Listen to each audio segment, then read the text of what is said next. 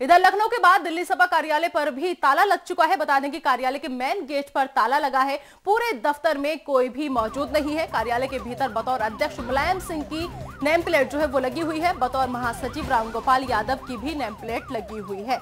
तो आप देख सकते हैं तस्वीरों में कि राष्ट्रीय अध्यक्ष जो है मुलायम सिंह यादव की नेम प्लेट अभी भी यहाँ लगी हुई है। तो कार्यालय के भीतर बतौर अध्यक्ष मुलायम सिंह की नेम प्लेट लगी हुई है और साथ ही साथ बतौर महासचिव रामगोपाल यादव की भी नेम प्लेट लगी हुई है।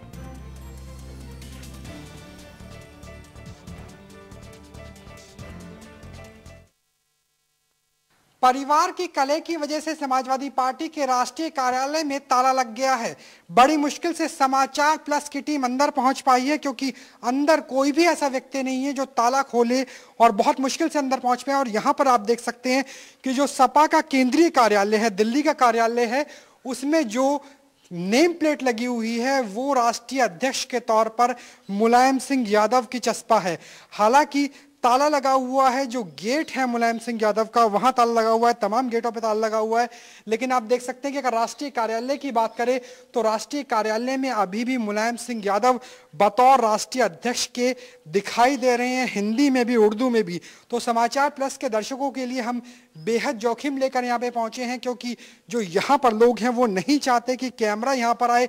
जब तक मामला सुलझ जाए, तब तक पूरे दफ्तर को सीज किया गया है, ताला लगाया गया है। और यहाँ पर आप देख सकते हैं राम गोपाल यादव की भी नेम प्लेट यहाँ पर मौजूद है। ये वो इलाका है जहाँ से राम गोपाल यादव मीडिया से मुखातिब होते थे, प्रेस कॉन्फ्रेंस की जाती थी। यानी अभी अगर तस्वीरों की बात की जाए तो एक तरीके से कॉर्न ऑफ़ किया हुआ है, सील लगा रखी है। ताल लगा रखा है, लेकिन यहाँ पर राष्ट्रीय अध्यक्ष के तौर पे मुलायम सिंह यादव की तस्वीर, मुलायम सिंह यादव की नेम प्लेट अभी भी केंद्रीय कार्यालय में नज़र आती है। अगर बाहर का नज़ारा आपको दिखाना चाहे तो बाहर जितने भी बोर्ड लगाए गए हैं, उन सभी बोर्डों में शिवपाल यादव की तस्वीर गायब है।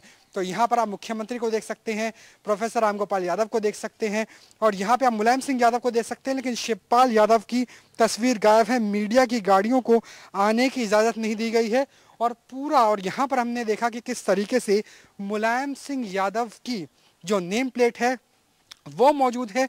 और पूरा आप ये केंद्रीय कार्यालय देख सकते हैं, जिस सूबे के अंदर की पार्टी सत्तारूढ़ हो, जिसमें टिकट को लेकर अभी घमासान मचा हो, वहाँ पर ना कोई मीडिया कर्मी, ना कोई चौकीदार, ना कोई कार्यकर्ता। तो आप देख सकते हैं कि किस तरीके से शमशान सा सन्नाटा केंद्रीय कार्यालय में नज़र आ रहा है, लेकिन केंद्रीय कार्यालय के अंदर राष्ट्रीय अध्यक्ष के नेम प्लेट में अभी भी मुलायम सिंह यादव का नाम चस्पा है। कैमरामैन रजनीश के साथ राहुल नवास दिल्ली, समाचार प्लस।